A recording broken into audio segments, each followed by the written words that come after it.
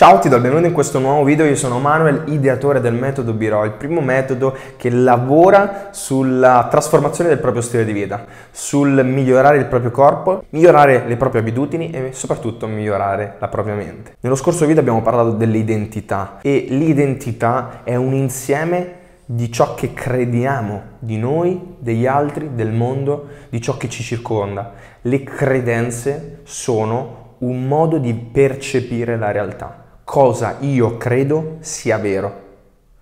E la parola io è molto importante perché queste credenze non compongono e non descrivono la realtà nel modo più profondo, nel modo più oggettivo, ma è sempre soggettivo. Quindi quello che io credo, la mia identità, quello che eh, io credo del mondo, quello che io credo di poter fare è sempre soggettivo.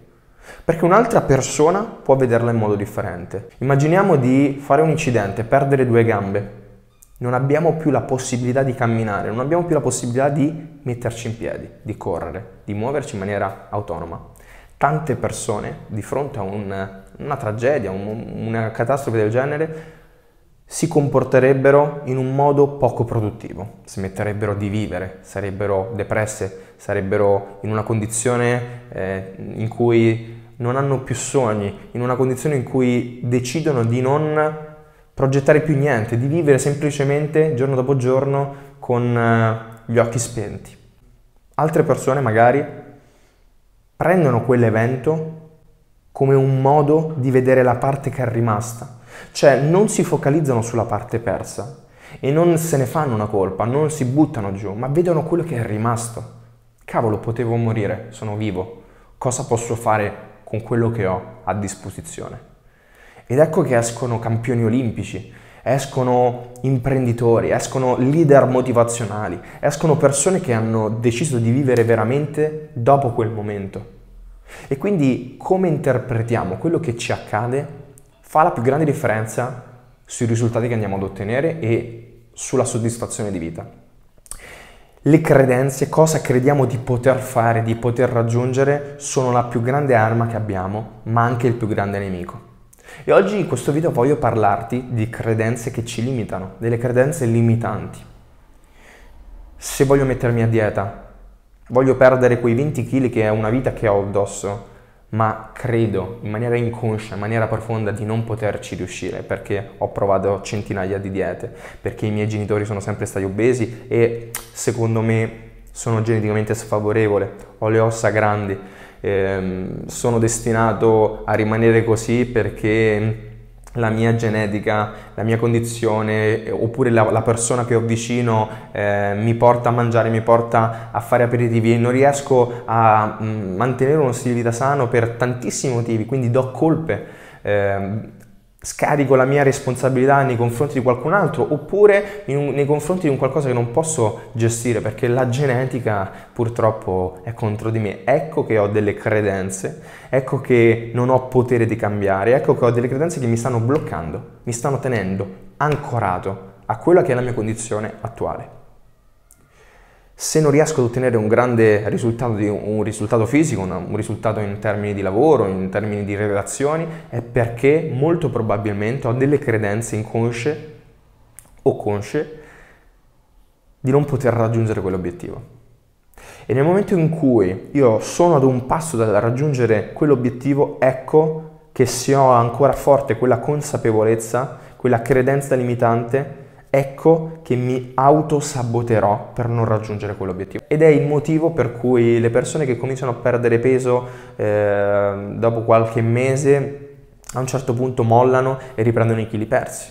È il motivo per cui persone che stanno a dieta in un periodo di blocco in cui vedono che la bilancia è ferma, puntano subito il dito per dire vedi, te l'avevo detto, non sono in grado di perdere peso ed ecco che lasciano perché non ne vale più la pena, perché hanno paura di impegnarsi al 100% e fallire. Hanno paura di impegnarsi al 100% e rendersi conto di non essere capaci di, di non essere in grado di. Oppure, cosa ancora peggiore, hanno paura che cambiare quella condizione possa allontanare le persone che siano vicino.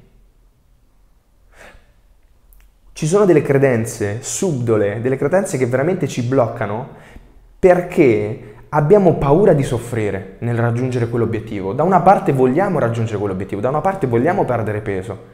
Però dall'altra abbiamo paura che se perdiamo peso le persone ci daranno meno attenzione. Abbiamo paura che magari la persona che abbiamo vicino possa andare via, perché magari si è resa conto che, cavolo, sei capace di ottenere un risultato del genere e io no. Magari abbiamo una persona vicino che è nella nostra stessa condizione, ha lo stesso problema e non ci sentiamo capaci di ottenere quel risultato perché poi quell'altra persona potrebbe sentirsi da meno.